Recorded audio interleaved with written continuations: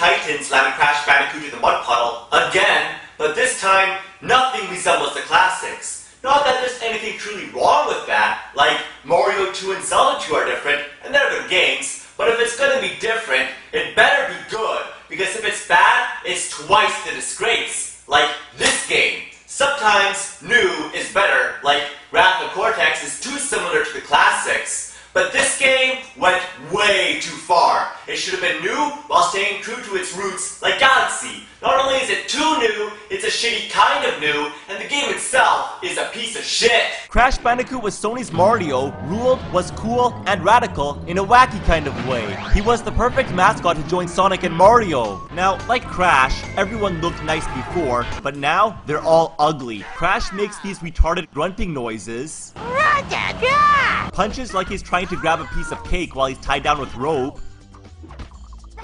Right in the light.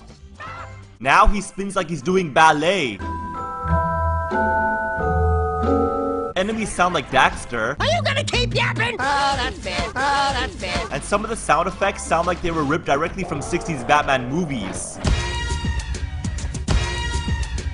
They painstakingly slow down the animation so we can truly see how shitty it looks. Enemies walk like there's a stick crammed up their ass. And why does Crash need to jack enemies to beat the stronger ones? Crash should be kicking the shit out of everyone. Imagine if Mario had to fight Bowser in a giant robot. There's not a reason why he can't, seeing how far he can throw a heavy object so hard it breaks a metal chain. Anyway, the game focuses too much on fighting enemies than being a platform game like it should. Most of the time, all you have to do to beat them is tap the square button, and it gets very repetitive. There's too many of them. Sometimes, you have to fight them in order to progress, and they never end. Sometimes, you can't land a single shot because they permanently stay in defense mode, and when you turn around to punch their ass, they instantly turn around. Damn it! You know what? I'm just gonna do it myself. Oh look, he really can't beat up the stronger enemies by himself. Kind of defeats the entire purpose of jacking enemies, don't you think? But he still needs to jack the stronger ones to beat the bosses. What a wimp. Invisible walls are everywhere. Like, what's the point of it being a platform game if in many areas you can't even fall off? You have to wait for the logs to completely settle before you can move across them. Now look at this. I'm trapped in an invisible tunnel with an invisible dead end. I have to jack off this enemy before I can continue about. The game is also very slow. Come on, run faster. What are you waiting for? Tinkerbell to wipe your ass for you? Aiming can be very awkward. Look, I'm trying to shoot that target. Fuck. Come on.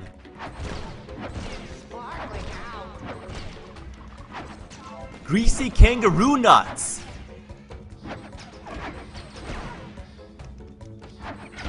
Give me a break.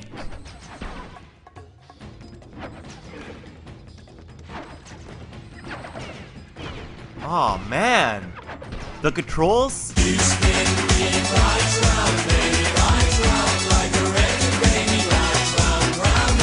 Interestingly suck. Jokes are everywhere and they're negatively funny. At long last, the world will have a way to recycle butter.